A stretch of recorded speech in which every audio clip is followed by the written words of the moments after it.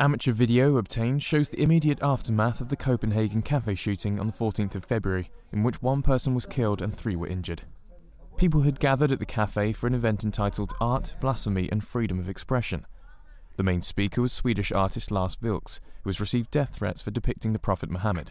Vilks was unhurt in the attack. Also attending the event was French ambassador Francois Zimeray. At the event, Zimeray had praised Denmark's support for freedom of speech following the assault in Paris in January on the offices of satirical weekly newspaper Charlie Hebdo. Witnesses said the envoy had barely finished his introduction when up to 40 shots rang out outside the venue as an attacker sprayed the cafe's windows with bullets. Security experts said they considered Vilks to have been the target. The gunman then moved on to a nearby synagogue, where the guard protecting a young girl's confirmation ceremony was gunned down. Danish police launched a massive manhunt, and on Sunday morning they shot dead the 22 year old Danish born gunman near the train station in Nørrebro, an area in Copenhagen not far from the sites of the two attacks.